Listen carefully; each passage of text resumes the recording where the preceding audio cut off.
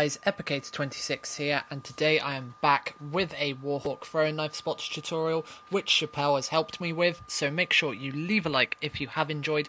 Also, Precision V2 is finished, but we're having, well, I'm having some rendering problems with um, Sony Vegas 11 because it's a big project. Sony Vegas is struggling, and it says there are some corrupt files, so I'm really trying to get this sorted out so I can get the montage out, and it is sick. As soon as we can get this montage out to you, Precision V2 is so sick. I've spent so much time on it and can't wait for you guys to see it. So make sure you um, get hyped for it and also make sure you leave a like on this tutorial for these epic spots on Warhawk. The next map I will be doing is Freight, so stay tuned for that and I will see you guys let it.